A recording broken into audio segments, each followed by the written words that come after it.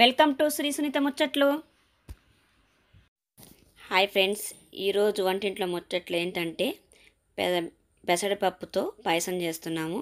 ఒక గ్లాస్ పెసరపప్పు వేసుకొని కడిగి మూడు గ్లాసులు నీళ్ళు పోసి పెట్టుకొని అవి బాగా ఉడకబెట్టుకోవాలి. ఉడకబెట్టుకున్న తర్వాత రెండు రెండు మూడు రెండు గ్లాసులు పాలు తీసుకోవాలి. పాలు కూడా రెడీగా పెట్టుకున్నాము. చూడండి. మీరు ఎలా చేస్తారో మా కామెంట్ రూపంలో చెప్పండి. మేమైతే ఇలా చేస్తాము. పాలు తీసుకున్నాము. కొత్తగా చూసిన వాళ్ళైతే దయచేసి లైక్ చేయండి షేర్ చేయండి సబ్స్క్రైబ్ చేయండి. ఇలా సేమ్యాలు తీసుకున్నాము. సేమ్యాలు తీసుకొని ఒక గ్లాస్ సేమ్యాలు తీసుకొని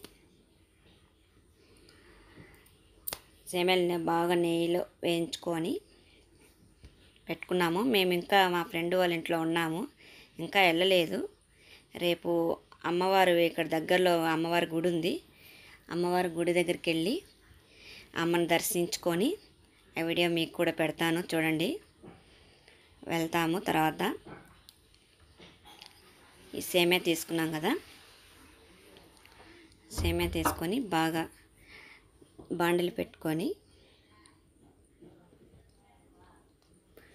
కొంచెం నెయ్యి వేసుకొని ఆ బండల్లో బాగా దూరగా బ్రౌన్ కలర్లో వచ్చేంత వరకు బాగా వేయించుకోవాలి.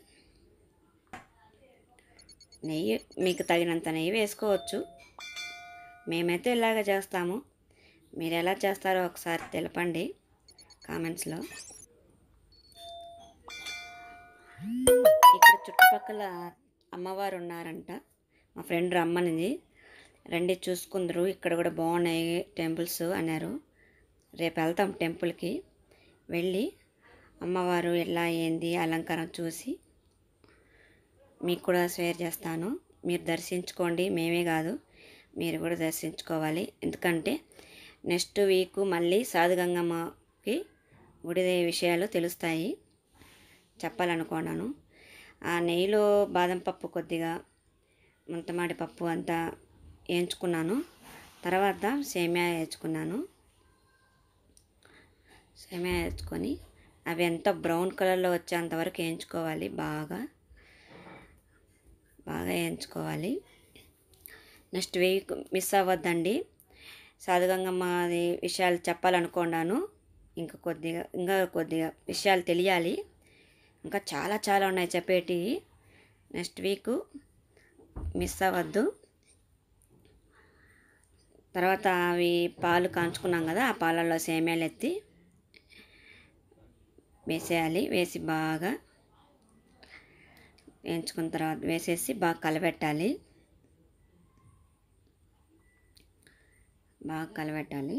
బాగా సేమ్యాలు బాగా ఉడికేంత వరకు బాగా ఉడికేంత వరకు కలబెడుతూనే ఉండాలి. కలబెట్టేసి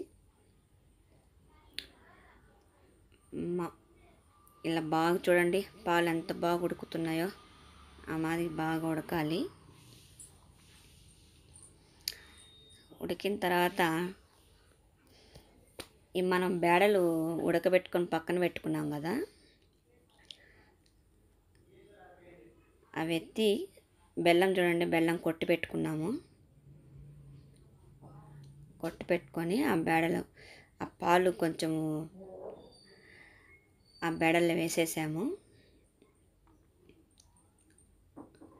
సేమియా పాలు బేడలు వేసేసాము. తర్వాత బెల్లం రెడీ చేసుకున్నాము పగలగొట్టుకొని. ఆ బెల్లం కూడా దాంట్లో వేసాము. సింపుల్ అండి రెండు ఐదు నిమిషాల పని అంతా మనం చేస్తే చాలా చాలా బాగుంటుంది టేస్టీగా. సమ్మర్ కదా ఇప్పుడు తింటే చల్లగా ఉంటుంది. ఇది మేము ఇంట్లో అమ్మవారికి పెడతాము ఈ మాదిగా చేసి చలవు కదా అమ్మకు నైవేద్యం ఏదో ఒకటి పెట్టాలి కదా సాధుగంగమ్మకి. తప్పకుండా పెడతాము. తర్వాత కొబ్బరి మొక్కలు కొబ్బరి ముక్కలు కూడా వేస్తాం పచ్చి కొబ్బరి ఉంటే. బాగుంటుంది టేస్ట్గా ఉంటుంది. తర్వాత ముంతమాడిపప్పు అవి జీడిపప్పు అవి వేస్తాము. ఇప్పుడు కొద్దిగానే ఉన్నాయి ఇంట్లో. లాక్డౌన్ కదా షాపులు లేవు. దానివల్ల కొద్దిగానే ఉండడం వేసామున్న కాడికి. మీకు ఈ నచ్చితే ఈ వీడియో లైక్ చేయండి షేర్ చేయండి సబ్స్క్రైబ్ చేయండి. ప్లీజ్ అండి. మీకు అమ్మవారి విషయాలు చాలా చాలా ఉన్నాయి. చెప్పాలని అనుకుంటున్నాను. థ్యాంక్స్ అండి. నా వీడియో పూర్తి చూసినందుకు బాయ్ అండి. ఇంతే విశేషాలు.